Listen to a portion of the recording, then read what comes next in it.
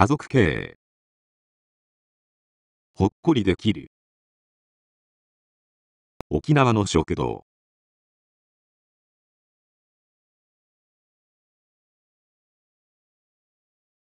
皆さん家族経営の食堂と聞くとどういう印象があるでしょうか？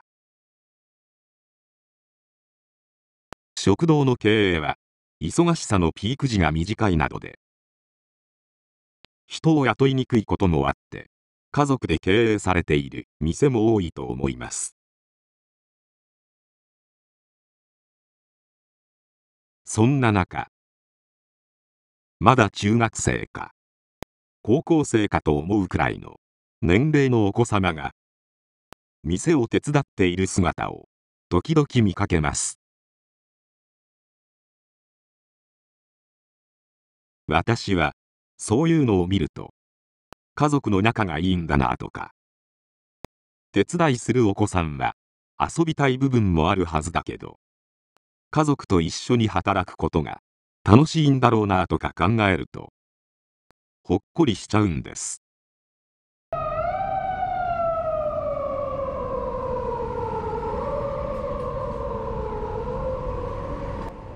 今日は私が今までに出会った素敵な家族経営の沖縄食堂を3店舗ご紹介したいと思います。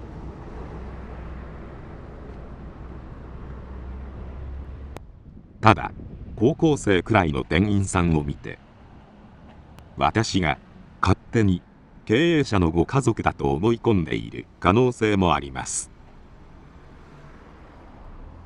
そうだとしたらごめんなさいです。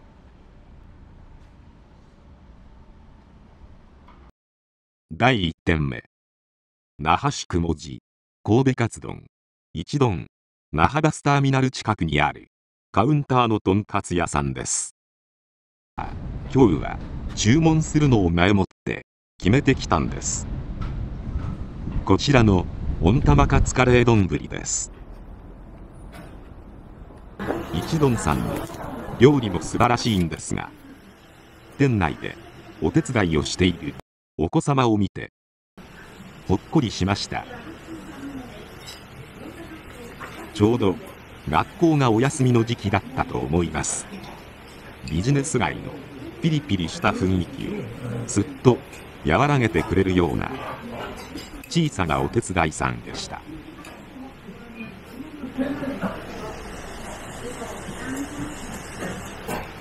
第2軒目名護市満腹食堂。明王大学近くにある格安で爆盛りの食堂弁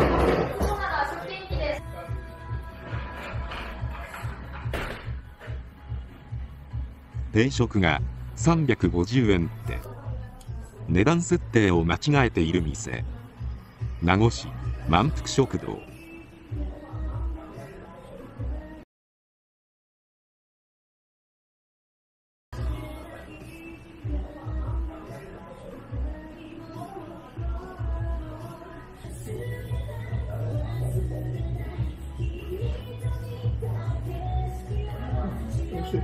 こちらのお店にもお手伝いのお子様を見ました。高校生くらいだったのでアルバイトかもしれませんがご家族か手伝っているかもです。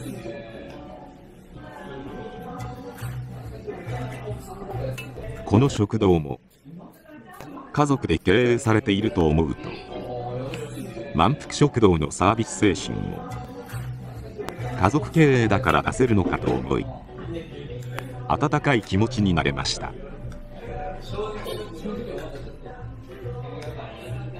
こうした大盛りの料理を提供してくれる満腹食堂のサービス精神も家族経営だからこそできる気がしてきます。このお店もほっこりできます。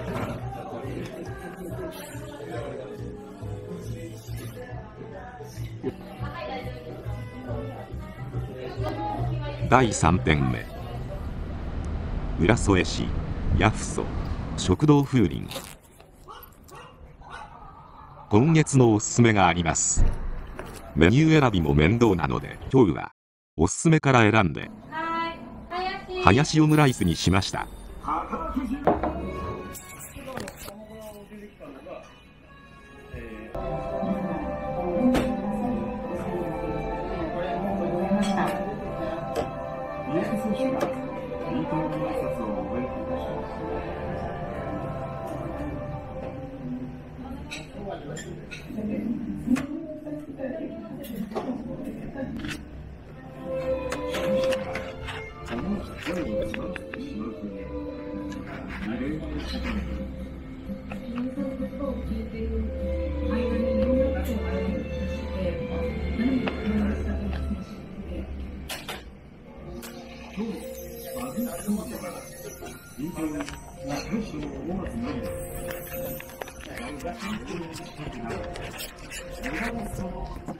最初は量の多さに驚きましたが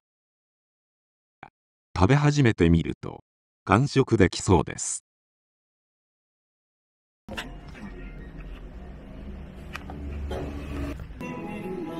テレビタレントの石ちゃんが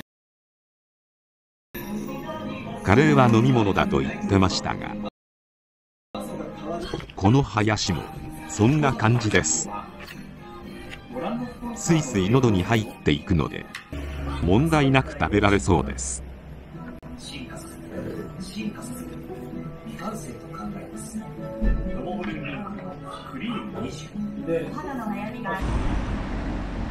風鈴さんは家族経営のお店です。ちょっとのんびりした。温かな雰囲気があるお店で。くつろげます。家族で。頑張られているとわかると。私も嬉しくなります。今は食堂経営の苦難の時代です。コロナの大波が襲ってきました。それが終わると今度は原材料の高騰が始まりそして人件費や人手不足がありました。そうした苦しいことを解消しようと近頃急速に広がっていったのが券売機の導入です。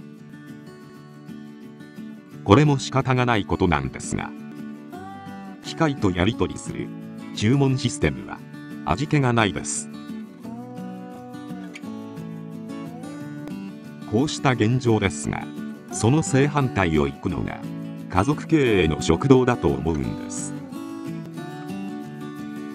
ですから家族経営のお店に入ってそこでご家族らしいお子様が配膳などを手伝う様子を見るとなんだかほっこりするんです。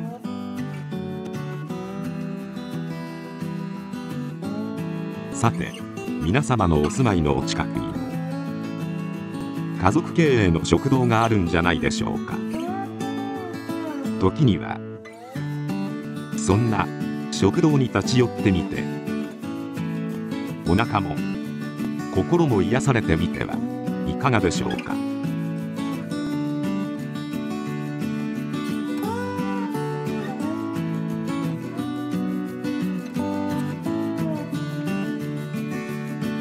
本日も最後までご視聴ありがとうございました。